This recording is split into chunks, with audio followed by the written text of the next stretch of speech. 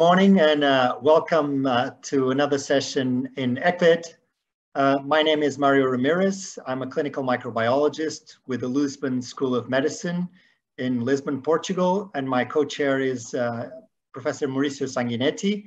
And without further ado, I will uh, give the floor to my co-chair to introduce uh, our speaker, Professor Marion Koopmans.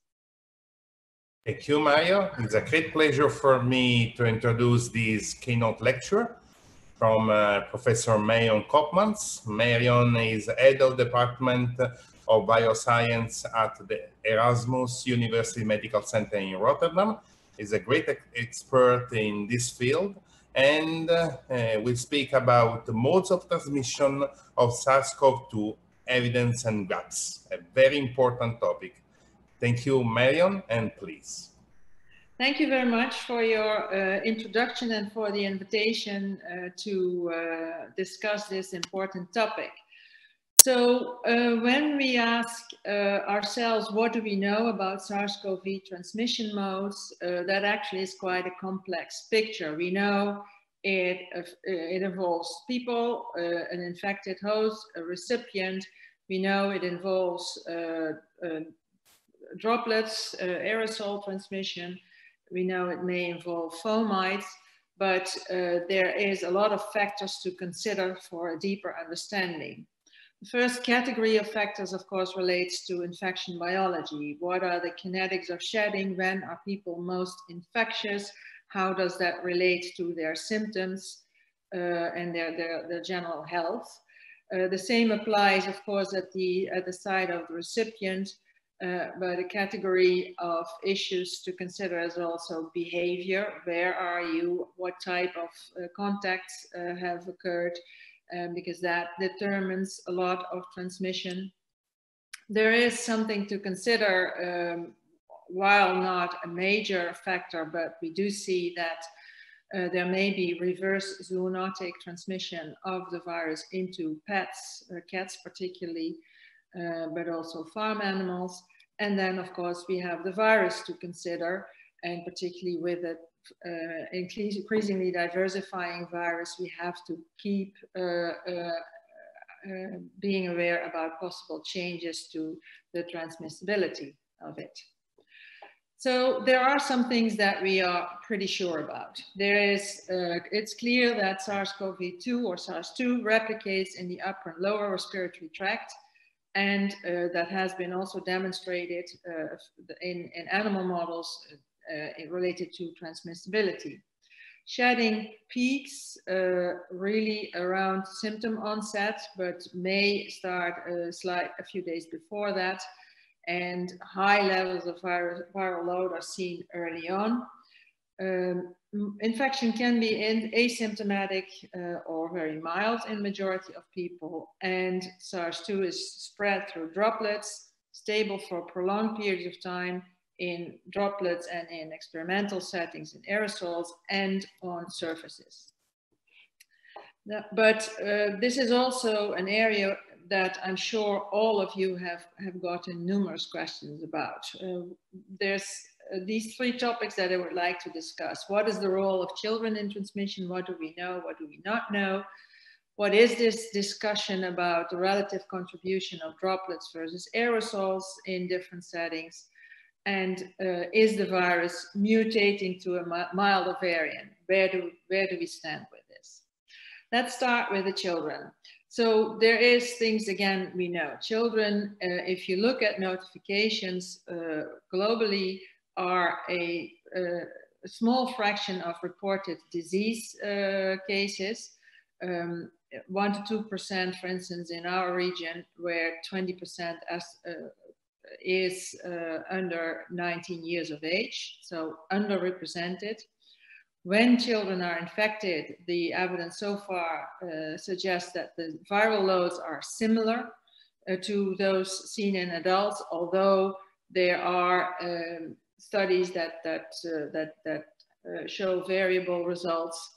Serosurveys so far suggest there are, uh, children are less commonly infected and household studies suggest that children are less commonly index cases and transmit less often. And I will go over some of that work. So here is, of course, uh, it's important to realize that with all the literature out there, there's not that many really well-defined uh, cohort studies that are uh, powered sufficiently. But here's a great example from the UK, which has uh, uh, built a large national cohort of, with 260 hospitals. And this is an analysis of the 651 children hospitalized during the first half year uh, of this pandemic there. And what they see is interesting. Respiratory syndrome that you expect that we have come to to uh, to understand, but there's also uh, a second syndrome which is clinical presentation, which is more of an enteric uh, syndrome, uh, particularly in children to uh, consider. Now that matches observations here in Organize that uh, enterocytes can be infected with uh, SARS-2 as well. If you then look at what is the further evidence for uh, uh, fecal shedding uh, and prevalence of GI symptoms in, in patients with coronavirus disease, here's data from a meta-analysis. And mind you, I still think this is wild this is a meta-analysis of data from preprints. This is uh, how, how this is evolving.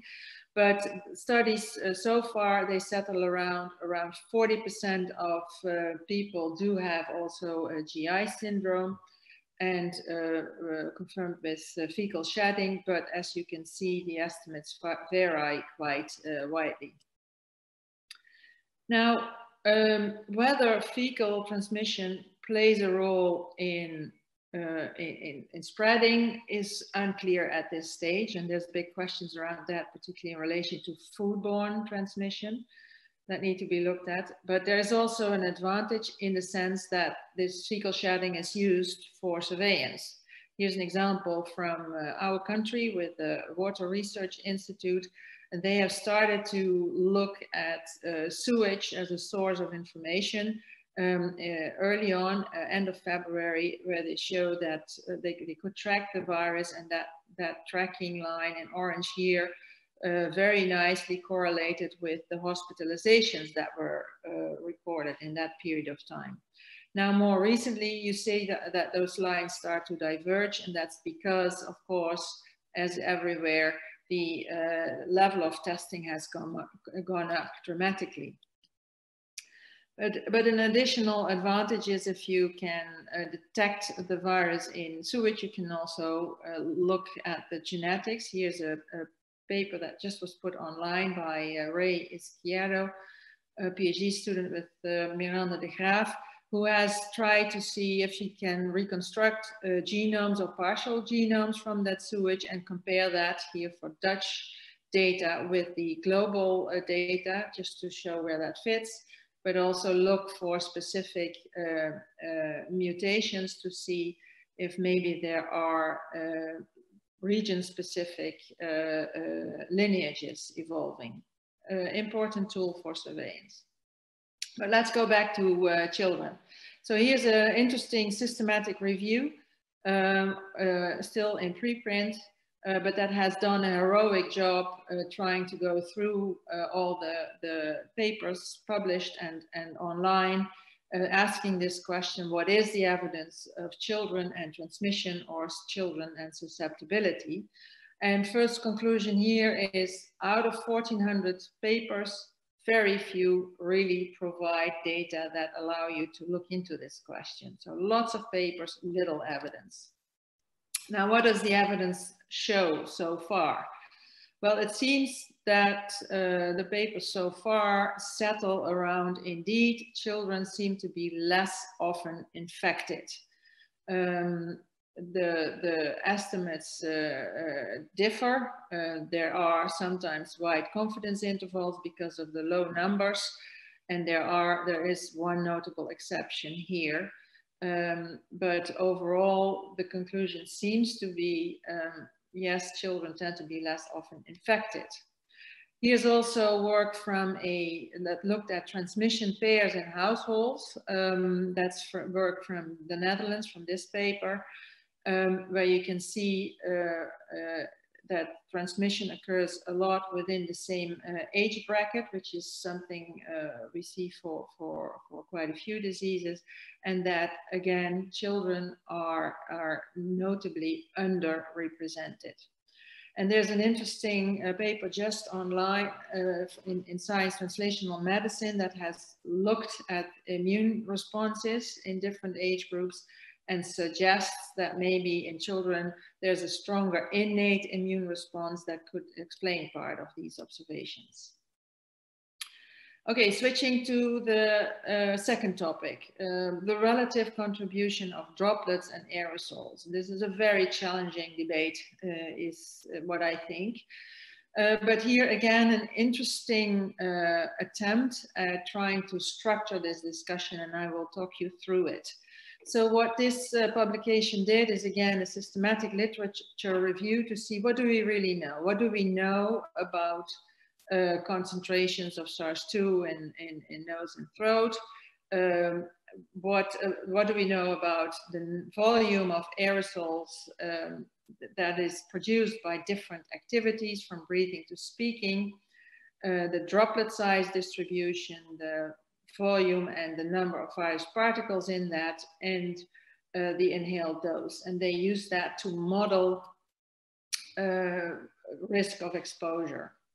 So this is data from the literature review on the aerosol volume created if you breathe, uh, which of course you cannot stop doing, if you speak, uh, cough and sneeze. And these are the categories that we try to reduced by, by uh, asking people to stay home and sick.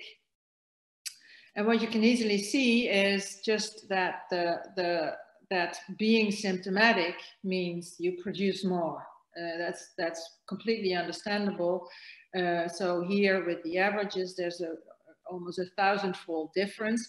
But of course, what you can also see, there's wide margins of error and there is debate whether, for instance, you have individuals that have particular tendency to produce large volumes of aerosols. Now what they then did is uh, use, uh, combine all that data into a model that could estimate probability of exposure. And I really encourage you to take the paper because I think the line of thinking is, is uh, excellent. So what they did is uh, take that knowledge, uh, distribution of viral loads uh, in, in people with the infection and then model what is the likelihood that you would be exposed to an infectious uh, uh, aerosol, no, no, to a, to a virus containing aerosol, sorry, if you sit in a bus for 20 minutes. So they take into account the volume and the different activities and so on. So to, the way to read this is here you have maybe a very high uh, shedding individual. What happens if that person, you sit in a bus with that person um, and uh, he or she is speaking and you see that still the probability of exposure is very low, but that differs if that same person sneezes. That's how to read it. So bottom line is um, people are more infectious when they are symptomatic uh, and even with uh, high levels of shedding, this is not immediate uh, re, cause for concern. And, and, the current control measures really should cut down on a lot of this transmission. Now, not taken into account here is the infectiousness of people. So the data so far have worked with viral loads estimates from RNA, uh, but of course, we know that uh, that does not equate the infectiousness. So this is data from a paper that looked at uh, where, in which patients with which viral loads can you still culture virus. And it's clear that infectiousness uh, decreases with duration of symptoms, but also with the uh, development of protective, uh, with the development of an antibody response and particularly neutralizing antibodies. So here in this study, over with people having neutralizing antibodies over a titer of 1 in 80, uh, virus culture invariably was negative. Okay, so that's um, uh, moving on to the, the, the, third question, bringing in virus diversity. So um, even though this, as a coronavirus, this virus is not evolving very rapidly because there is some proofreading uh, mechanism, that the virus is diversifying. That's obvious. Here is an image from a minimal spending tree that we produced uh, at the start of the uh, uh, first wave in our country, um, where centrally here you see the virus from Wuhan, but already then, early March, you could already recognize multiple uh, slightly different uh, uh, clusters of viruses. And of course, this has continued to occur with its global dispersal. Um, and with that, uh, of course, we need a way of, of structuring our thinking and, and tracking the, the, diversification of this virus. So this is work done by Andrew Rambo. It's published in Nature, um, who has simply uh, made a, a, a systematic uh, attempt at, uh, at naming the different lineages that you observe and has also looked at uh, how uh, can we interpret that uh, diversification. And so far, what this mostly reflects is geographic uh, spread. So you have introduction of the virus in a certain geographic region, it starts to circulate, pick up mutations, and so you get a geographic signal. So uh, for instance, a US lineage, a European lineage, UK lineage, uh, Iranian lineage, um, what have you. Now, in addition to that, of course, there's talk of uh, specific mutations that may affect the function uh, of, of the virus. And that is, uh, of course, an important question. And here's one that is quite extensively studied. It, it's a mutation in the spike protein, which has popped up and where you really see that, that this uh, vir the viruses with this mutation have taken over, essentially. So there's an epidemiological observation of displacement, uh, strain displacement. And that is in this paper uh, supported also by laboratory data that suggests that the level of uh, replication or that showed that the level of replication is increased uh, with the, the, the, the mutant uh, in this position. Now, a cru crucial question, of course, is does that have any bearing with a clinical impact. So it does seem like transmissibility has increased. It, that is reflected by the uh, now dominance uh, of this variant. Uh, but uh, clinically, there doesn't seem to be a difference. This is again work from the UK, where uh, you can see the uh, different age groups, the severity categories from no respiratory support to, to fatal for, for uh, people infected with one versus the other virus, and you you really don't do not see any consistent difference uh, in between them. So it does not uh, seem. Conclusion from this work is that uh, this mutation may affect transmissibility, but does not seem to affect uh, severity. Now, of course, this is important, and there's other smaller variants that are under investigation because they happen at specific uh, motives and that will continue to be important uh, uh, to study their effect on, uh, on, on, virulence uh, and transmissibility, but also on our ability to diagnose. Um, so PCR primer fits and things like that.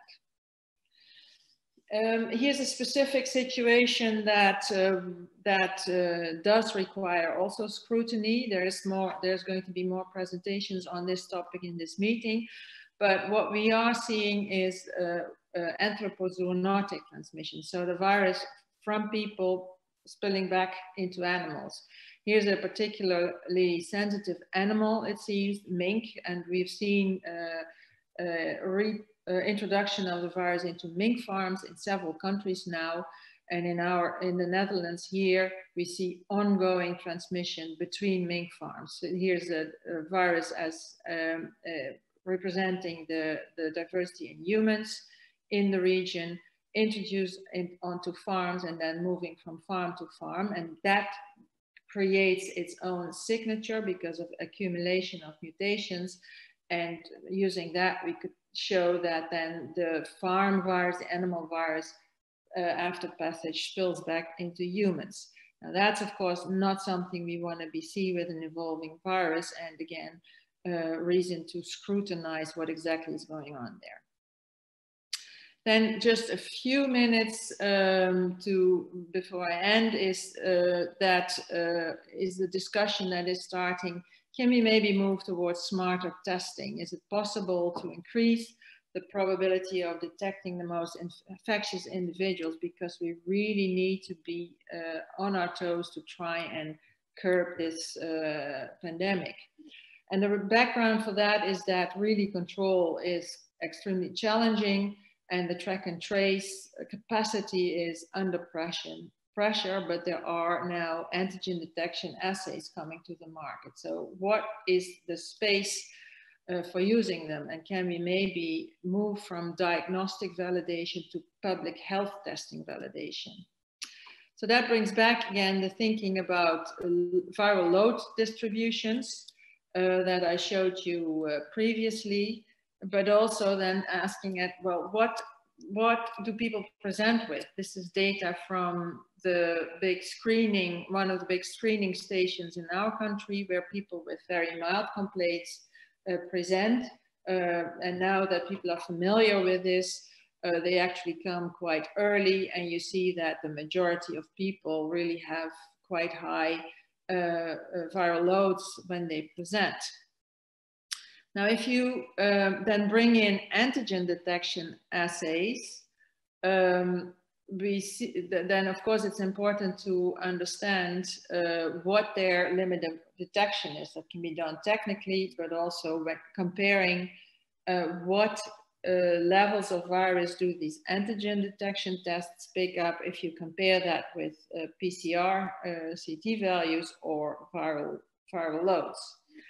And uh, so far, um, what you see, I think there's no not huge differences between uh, assays that are under development. Is that the, the their sensitivity at the technical level, of course, is far less than PCR, but it settles around, let's say, uh, CT 25 to 28 uh, values if you uh, speak of PCR. So what does that look like if you plot that on the the distribution of uh, patients that we see uh, coming in. Um, so that means that depending on your detection limit of the antigen uh, assay, you, you miss a smaller or a bigger fraction of recent cases. But is that a problem? Because there, the, the, second question is, what if you add in um, the the people, the, the fraction of people that are infectious. So that's plotting here the data that I showed on infectiousness, where you say, well, people really need to have fairly high viral load, um, and those are the most infectious. That would mean that by using an assay like this, you would probably detect all the infectious people and reduce the workload quite a bit because you lose these. And in this corner is also the, the low level positives where we do also see false positives. So potentially that would reduce the need for follow-up uh, depending on which assay you choose quite, quite uh, a bit. And I think it's interesting way of uh, thinking. So uh, with that, I want to conclude um, saying that I, I feel we all have a role to play in the uh, increasingly uh, uh anti-science and fake news uh, type uh, landscape. So I hope to have contributed a little bit with the sort of evidence synthesis as I see it so far. And uh, finally, of course, I would like to acknowledge and shown work from many of my colleagues here and the funders that allow us to, uh, to do this uh, work.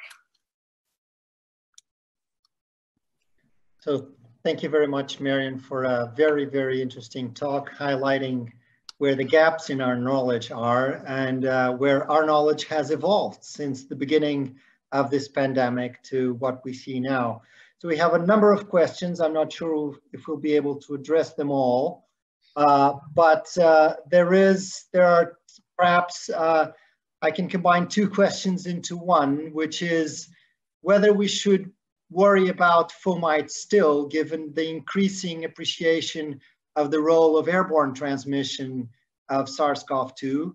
And I would tie that uh, with a question about whether uh, the change that we see in the behavior of uh, the spike uh, mutated virus that is spreading in Europe is actually uh, reflecting changes in the virus or reflecting changes in the behavior of the human population? Okay, um, complex questions. So, um, so, so with what we know so far, it seems like fomite transmission does not play a major role.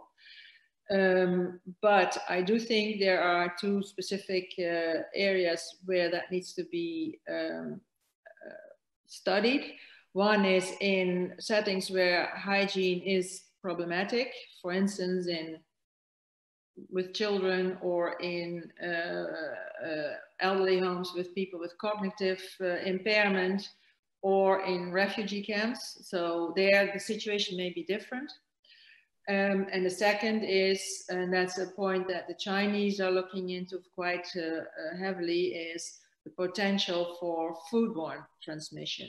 Not thinking that's a major thing, but it could bring the virus into places where you wouldn't expect it. Um, so those are two areas that I think need further uh, scrutiny. Then uh, as far as the, the takeover of the 614 mutation, um, so uh, no, I, so I, I, showed a slide where you saw that this virus is, the, this mutant is seen in all age groups. So it's not the age uh, distribution and the behavior of, of young, well, more, uh, more outgoing young uh, part of the population that can explain why this uh, mutant virus really uh, emerged. That's not, so, so uh, and in uh, vitro, we do see differences. Of course, the, the proof of the pudding will be if you have a uh, the same uh, backbone and just this mutation compared, and those are, studies are ongoing.